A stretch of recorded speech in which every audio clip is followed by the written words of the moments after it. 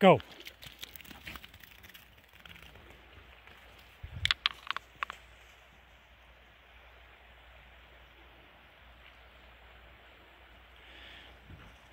This is how you make a muddy dog.